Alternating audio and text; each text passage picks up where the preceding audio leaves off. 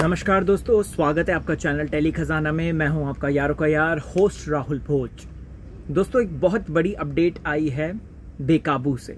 जी हाँ शालीन भानोट का सीरियल बेकाबू अब क्या बंद होगा थोड़े दिनों के लिए? क्या ये शो पनौती बन गया है? क्यों? क्योंकि शिवांगी जोशी जो इसमें मेन लीड निभा रही थी वो यू you नो know, उनकी किडनी में इन्फेक्शन हो जाता है। फिर उसके बाद हम देखते हैं कि अब शालीन भानोट को भी चोट लगी है। चैनल को सब्सक्राइब करें और फटाफट, अगर आपने मुझे इंस्टाग्राम पर अभी तक फॉलो नहीं किया है, Rahul Bhoj fifteen one five चलिए दोस्तों, बात कर लेते हैं आखिरकार क्या है ये माजरा। दरअसल दोस्तों बॉलीवुड लाइफ की एक रिपोर्ट आई है, आप लोगों को बताना चाहता हूँ, जहाँ पे शालीन भानोट को लेकर एक सबसे बड़ा खुलासा हुआ है।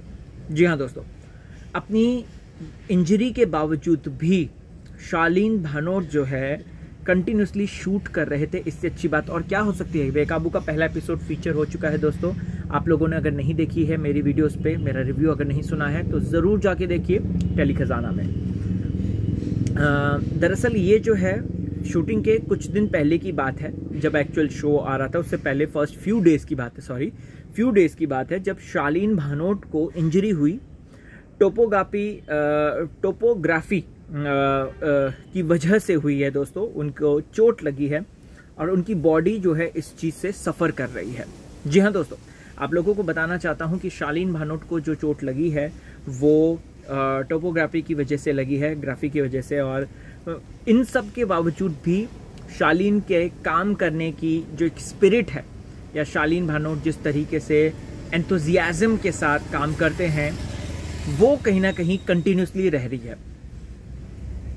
आप लोगों को बताना चाहता हूँ कि इसके बावजूद भी सेट पे शालीन टाइम पर आते थे प्रॉपर एक्शन सीन्स किए उन्होंने प्रॉपर काम किया है, दिन रात काम किया है, और वो दिन रात इस पर्टिकुलर शो बेकाबू की शूटिंग कर रहे हैं।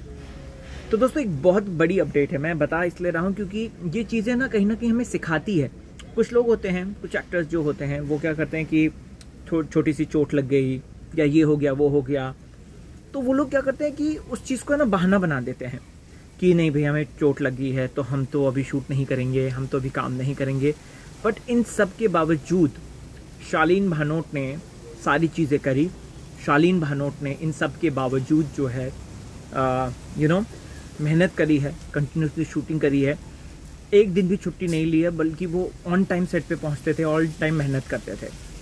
पहले एपिसोड की अगर बात बताएँ दोस्तों तो उसमें ज़्यादा कोई लोग नहीं शामिल थे। उसमें शिवांगी जोशी थी और शिवांगी के साथ साथ जैन इमाम थे उसमें। सो ओवर एंड ऑल और तनेजा थे, अश तनेजा भी थे उसमें। तो ये सब लोगों के साथ हुआ है। आपका क्या रिएक्शन है, ज़रूर बताएँ। और इसी तरीके की चटपटी अपडेट्स के लिए देखते रहें टेली खजाना। बाय